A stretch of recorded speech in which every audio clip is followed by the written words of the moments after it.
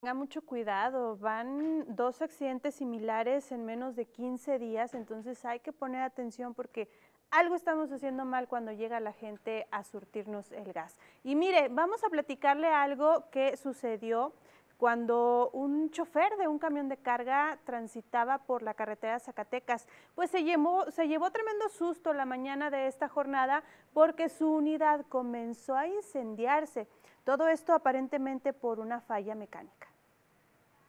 A raíz de una falla mecánica, un camión de tres y media toneladas se incendió en las inmediaciones de la carretera a Zacatecas durante la mañana de este martes, lo que provocó la movilización de los cuerpos de emergencia. El incidente ocurrió alrededor de las 8.30 horas en el kilómetro 338 de la vía federal a la altura del ejido La Angostura, por donde transitaba con dirección a Saltillo una Chevrolet 3500 cargada con papa. El operador de la unidad manifestó que al percatarse de una gran cantidad de humo que provenía desde la parte inferior, decidió orillarse y salir para ver lo que ocurría. El hombre notó que había fuego en las balatas del vehículo, por lo que pidió apoyo a través del sistema de emergencias 911 y elementos del cuerpo de bomberos acudieron al sitio. Los apagafuegos realizaron diversas maniobras y lograron poner bajo control la situación sin que se registraran personas lesionadas, informó para Telezócalo Augusto Rodríguez.